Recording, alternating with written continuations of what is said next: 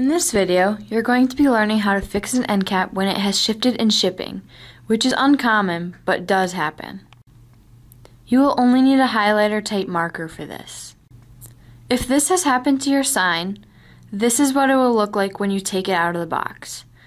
This happens because the box that your order has been shipped in got uneven pressure put on just the end cap, causing it to be pushed down or up. If you have not put it on the wall yet, you can simply put the sign and end cap flat on a hard surface, like a table, and push down with even pressure until the cap has returned to its original position, flush with the sign. If you have already installed it on the wall, firmly hold the sign module so it doesn't budge under the pressure. Take the highlighter marker and use it to push against the end cap until it is flush with the sign. You have now successfully corrected your askew end cap. Feel free to call with any questions at 1 800 443 6032.